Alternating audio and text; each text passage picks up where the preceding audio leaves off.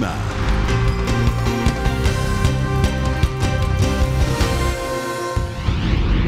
Muy buenas tardes, estamos en TVC Televisión contigo. Soy Carla Basso y les traigo la mejor información sobre el estado del tiempo para el occidente y Bajío Centro.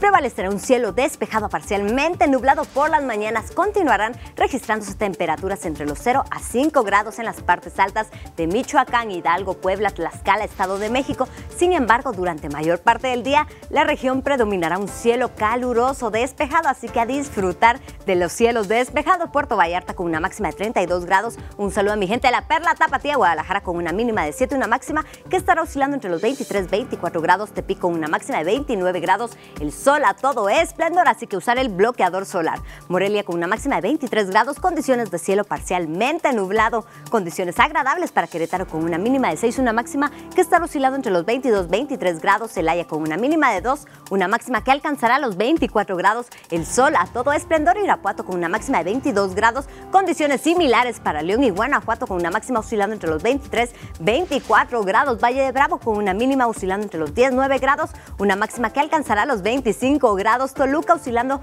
entre los 20 y 21 grados. Condiciones de cielo despejado bastante agradables para Cuernavaca con una mínima de 9, una máxima que alcanzará los 28 grados. No olvide usar su bloqueador solar. Para mis paisanos les mando muchos besos con una mínima de 7, una máxima que estará oscilando entre los 20, 19 grados. Tehuacán, donde hacen ese delicioso mole de caderas con una mínima de 8, una máxima que alcanzará los 16 grados. Pachuca con una mínima de 6, una máxima oscilando entre los 15 16 grados. Condiciones bastante frías durante la mañana, así que abrigarse muy bien y en la noche. Hasta acá llegó la información sobre el estado del tiempo. Recuerden amigos que al mal tiempo, buena cara.